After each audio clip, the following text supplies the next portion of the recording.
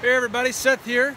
Today I'd like to demonstrate the Koncovka from Slovakia, also known as the overtone whistle. It's super simple, it's just a pipe with a whistle. Um, you play it by adjusting the pressure of your breath and waving your finger over the end. You get many different notes on many different octaves.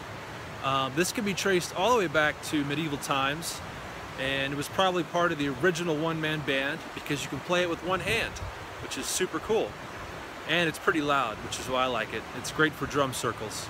All right, check it out.